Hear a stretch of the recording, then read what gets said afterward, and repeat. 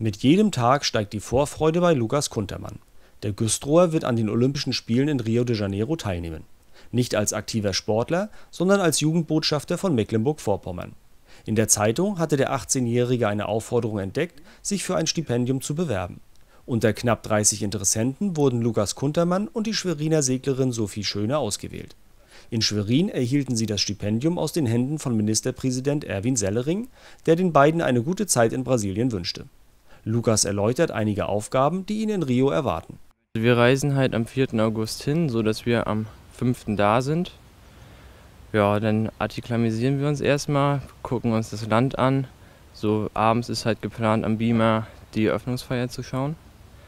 Und Ziel dieser Reise ist es einmal, dass wir das Land Brasilien kennenlernen, die Stadt Rio, uns mit der Kultur auseinandersetzen, die Kinder kennenlernen, wie die dort leben, was auf die Stadt Rio durch Olympia für Probleme gekommen sind, wie es alles gelöst wurde. Daneben stehen Besuche von Sportveranstaltungen, Visiten im Deutschen Haus und Gespräche mit Sportfunktionären und Sportlern auf seinem Plan. Vielleicht gelingt es dem jungen Mann, der eben die 11. Klasse im John-Brinkmann-Gymnasium abgeschlossen hat, auch mit Radsportlern ins Gespräch zu kommen. Denn Lukas ist begeisterter Radsportler und startet für das Radsportteam Dasso. In der Woche trainiert er meist allein in Güstrow und Umgebung.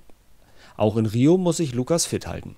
Denn unmittelbar nach seiner Rückkehr aus Brasilien steht die Teilnahme an den Deutschen Bahnmeisterschaften in Cottbus in seinem Plan